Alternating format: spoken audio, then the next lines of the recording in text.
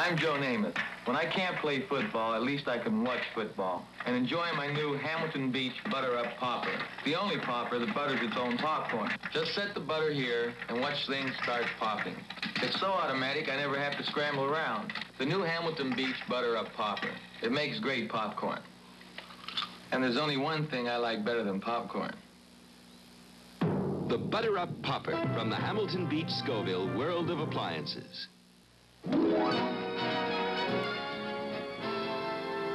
Tomorrow night on the 6.30 movie, a flask of deadly virus is stolen from an experimental lab, and the thief threatens to use it to wipe out an entire city.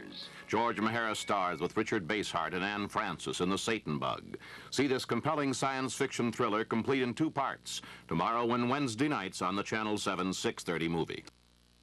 An archaeological quest of the Americas on the Monday night special.